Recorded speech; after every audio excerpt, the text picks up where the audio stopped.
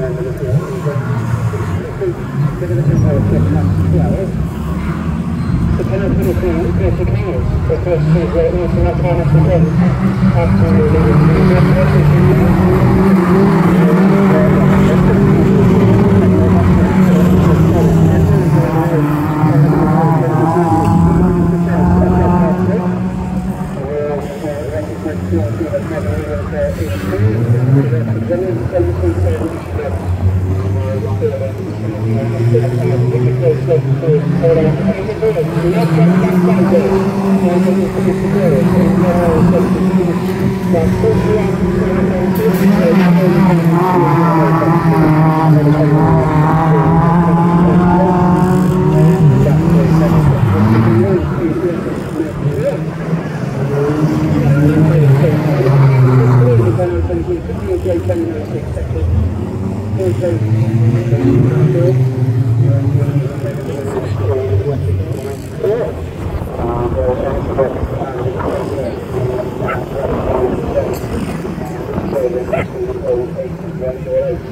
Thank you.